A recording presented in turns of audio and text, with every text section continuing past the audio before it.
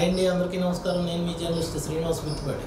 ఒక్కసారి సబ్స్క్రైబ్ చేయండి ఆ పక్కనే ఉన్న బెల్ బటన్ ప్రెస్ చేయండి. థ్యాంక్ యూ ప్రస్తుతం తెలుగుదేశం పార్టీ ఆంధ్రప్రదేశ్లో అధికార పార్టీకి అడుగడుగునా మోకాలడ్డుతూ అడ్డుపడుతూనే ఉంది.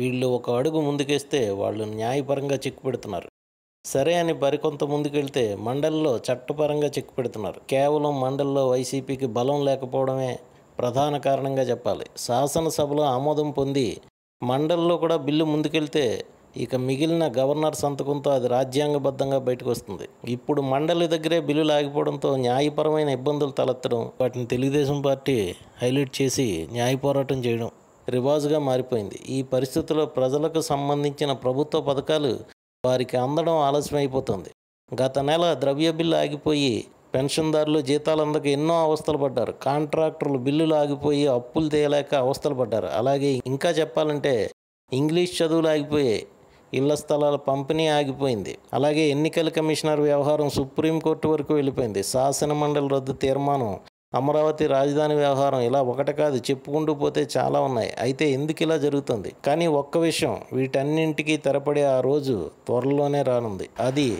వచ్చే సంవత్సరం రెండు వేల ఇరవై ఒకటి. అందరూ గుర్తుపెట్టుకోండి ఆంధ్రప్రదేశ్ రాష్ట్రంలో అభివృద్ధి పరంగా ఎవరు ఊహించిన పెను మార్పులు చోటు చేసుకునే అవకాశాలు స్పష్టంగా గోచరిస్తున్నాయి.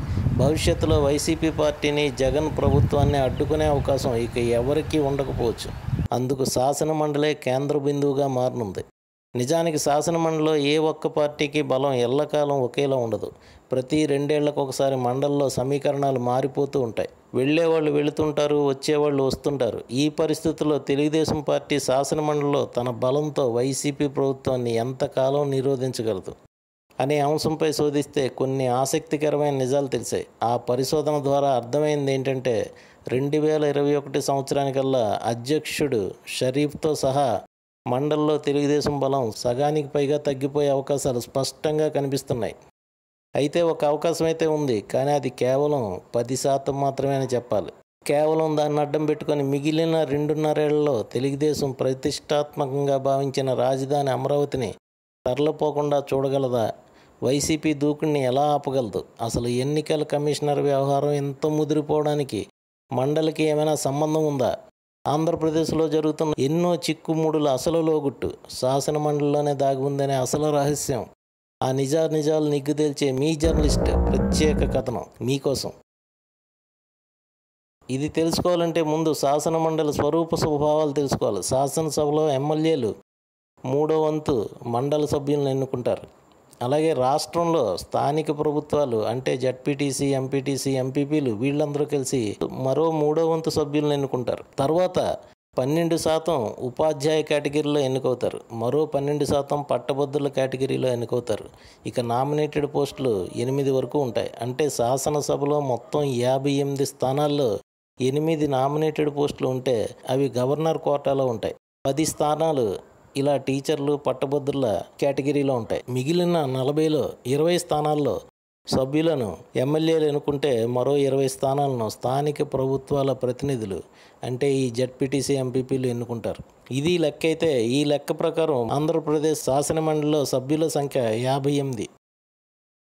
వీటిలో ప్రస్తుతం తెలుగుదేశం పార్టీ సభ్యుల బలం ఇరవై ఎనిమిది.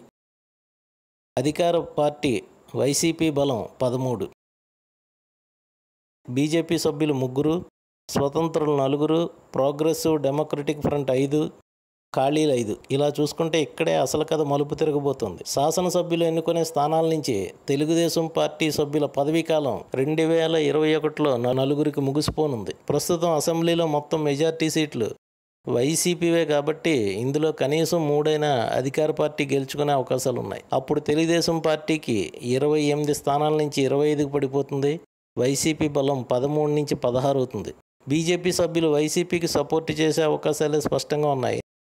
ఎందుకంటే మన రాజ్యసభ సభ్యుల ఎంపికలో బీజేపీ నుంచి కేంద్ర హోంశాఖ మంత్రి అమిత్ షా ముఖేష్ అంబానీ సూచించిన జార్ఖండ్ నివాసి రాజకీయ నాయకుడు వ్యాపారవేత్త అయిన పరిమిళ్ నట్వానీని వైసీపీ తన బలంతో గెలిపించింది. అందువల్ల రాష్ట్రంలో అత్యవసరమని అనుకుంటే బీజేపీకి ఉన్న ముగ్గురు వైసీపీకే సపోర్ట్ చేయడం ఖాయంగా కనిపిస్తోంది. అలా మండలిలో వైసీపీ బలం పదహారు నుంచి పంతొమ్మిది అవుతుంది. ఆల్రెడీ ముగ్గురు టీడీపీ నుంచి సభ్యులు బయటికి వచ్చినట్టుగానే కనిపిస్తుంది. వాళ్ళు మొన్న జరిగిన ఓటింగ్లో పాల్గొనలేదు. కానీ బయటికి మాత్రం ఒక్కరిగానే కనిపిస్తోంది. అందువల్ల తెలుగుదేశం బలం ఇరవై ఐదు నుంచి ఇరవై నాలుగుకు పడిపోయింది. అప్పుడు వైసీపీ బలం పంతొమ్మిది అవుతుంది. రాష్ట్రంలో ఇన్ని తలనొప్పులకు కారణమైన అసలు డ్రామాకి మూల కారణం ఇక్కడే మొదలవబోతుంది. అది ఎలా అంటే రాష్ట్రంలో స్థానిక ప్రభుత్వాల సభ్యులు అంటే జడ్పీటీసీ ఎంపీపీ ఎంపీటీసీలు ఎన్నుకునే ఎమ్మెల్సీ స్థానాల దగ్గరే అసలు విషయం అంతా ఉంది. విషయం ఏంటంటే స్థానిక ప్రభుత్వాల సభ్యుల కోటాలో సుమారు ఏడు స్థానాల్లో తెలుగుదేశం సభ్యుల పదవీకాలం రెండు వేల ఇరవై ఒకటితో ముగిసిపోనుంది. అందుకే ఆ సభ్యుల పదవీకాలం ముగిసేలోపు అంటే రెండు వేల ఇరవై ఒక్క లోపు స్థానిక ఎన్నికలు జరగాలని వైసీపీ పట్టుబడుతుంటే తెలుగుదేశం అడ్డంగా అడ్డుపడిపోతుంది. ఇప్పుడు ఎన్నికలు జరిగితే ఖచ్చితంగా రాష్ట్రమంతా వైసీపీ ఎమ్మెల్యేలే కాబట్టి ఆ ఇరవై మూడు మంది తప్ప అందులో ఒకరు త్రిశంక స్వర్గంలో ఉన్నారు. మొత్తం మీద తెలుగుదేశం బలం ఇరవై రెండు అని చెప్పాలి. ఇందులో కూడా చివరికి ఎంతమంది ప్రత్యక్షంగా పరోక్షంగా సహకరిస్తారో కూడా తెలియని పరిస్థితి ఉంది. దీనివల్ల ఖచ్చితంగా స్థానిక ఎన్నికల్లో మళ్ళీ వైసీపీ విజయ దుందుబి మోగించడం ఖాయంగా కనిపిస్తోంది. ఇప్పటికే అన్ని రకాలుగా డబ్బులు ఏదో ఒక రూపంలో ప్రజలందరికీ జగన్ ప్రభుత్వం ద్వారా అందుతూనే ఉన్నాయి. ఇవి ఐదేళ్ళు కావాలంటే ఖచ్చితంగా ముఖ్యమంత్రి జగన్ పార్టీ వైసీపీగా ప్రజలందరూ ఓటు వేస్తారనేది ఒక నిజం. రెండవది వచ్చిన అనతకాలంలోనే తండ్రి వైఎస్ఆర్ పరిపాలనను మళ్ళీ కళ్ళకట్టినట్టు అచ్చుగుద్దినట్టు చేయడం చూస్తుంటే ప్రజలు మైమర్చిపోతున్నారు. వైఎస్ఆర్ మరణంతో రాష్ట్రం మోగపోయింది అప్పుడే ప్రజల గుండెల్లో వైఎస్ రాజశేఖర రెడ్డి ఎంత బలమైన ముద్ర వేశారో ఎంత గొప్ప నాయకుడో ఎందుకు అందరూ హృదయాల్లో దేవుడయ్యాడో అందరికీ అర్థమైంది.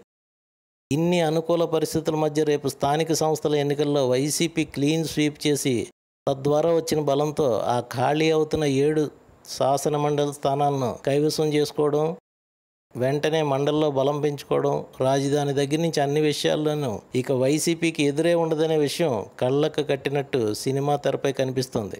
అలా జరిగితే రెండు వేల ఇరవై ఒకటిలో అప్పుడు శాసనమండలిలో బలాబలాలు ఎలా ఉంటాయంటే వైసీపీ బలం ఇరవై ఆరు అవుతుంది టీడీపీ బలం పదిహేడుకి పడిపోతుంది. ఇలా రెండు సభల్లోనూ నెగ్గిన బిల్లులు రాజ్యాంగపరమైన ఆమోదముద్ర వేసుకొని గవర్నర్ సంతకంతో బయటకు వచ్చేస్తాయి దీన్ని అడ్డుకోవడం ఇక ఎవరి తరము కాదు. అందుకనే వైసీపీని ఆపాలంటే మండల్లో బలాన్ని కాపాడుకోవడం ఒక్కటే తెలుగుదేశానికి ఉన్న ఏకైక మార్గంగా కనిపిస్తుంది. అందువల్లనే ఎన్నికలు రెండు వేల ఇరవై ఒకటి శాసనమండలి ఎన్నికలు జరిగే వరకు వీటిని ఆపాలని తెలుగుదేశం విశ్వ ప్రయత్నాలు చేస్తోంది. ఎందుకంటే అలా చేస్తే ప్రస్తుతం ఉన్న తెలుగుదేశం జడ్పీటీసీలు ఎంపీటీసీలు ఎంపీపీలు మళ్ళీ వాళ్ళకే ఓటు వేసే అధికారం ఉంటుంది. తద్వారా వాళ్ళు తమ పార్టీకే ఓటు వేస్తారు. అప్పుడు మళ్ళీ తెలుగుదేశం మండలిలో బలం యథాతథంగా పెంచుకున్నాక తన అవసరం తీరిపోతుంది కాబట్టి స్థానిక ఎన్నికలకు తెలుగుదేశంకి అభ్యంతరం చెప్పదు. ఇలా గెలిచిన వాళ్ళు మళ్ళీ ఆరేళ్ళ పాటు వాళ్ళే ఉంటారు కాబట్టి మండల్లో ఇప్పట్లాగే వైసీపీని ముప్పు తిప్పలు పెట్టి వాళ్ళు ఏమైనా రాజ్యాంగపరమైన నిర్ణయాలు తీసుకుంటే న్యాయపరంగా వెళ్ళి అడ్డుపెట్టి జగన్ దూకుడికి కళ్ళెం వేస్తూ ఉంటారు. ఇది సంగతి. అయితే ఇందులో కొసమెరుపు ఏంటంటే శాసనసభలో బిల్లు ఆమోదముద్ర పడి మండల్లో ఆగినా అది తొంభై రోజుల వరకే ఆపవచ్చు. తర్వాత అది చట్టరూపం చెందుతుంది. భారతదేశంలోని రాజ్యసభల మండలకి సర్వాధికారాలు లేవు.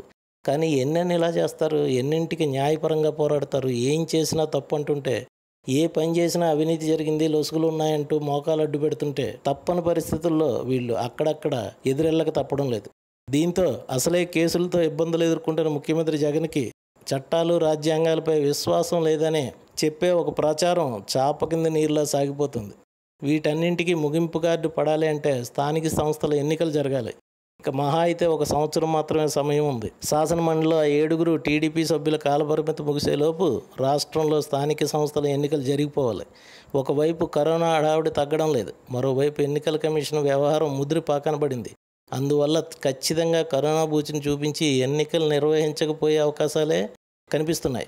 కానీ వ్యాక్సిన్ వచ్చి అది సక్సెస్ అయిపోయి స్కూళ్ళు తెరిచేసి మళ్ళీ జనజీవనం యథాతథ స్థితికి వచ్చేస్తే స్థానిక ఎన్నికల ఆపమని ఎవరూ చెప్పరు.